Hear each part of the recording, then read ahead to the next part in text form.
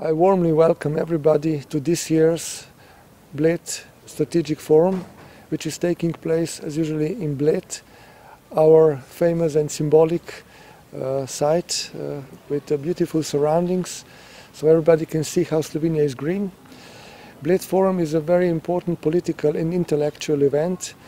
when participants from all over the world gather and exchange their views on actual topics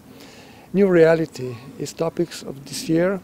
and I believe that uh, the message from this forum will go all around the world. And I'm also very glad that uh, not just uh,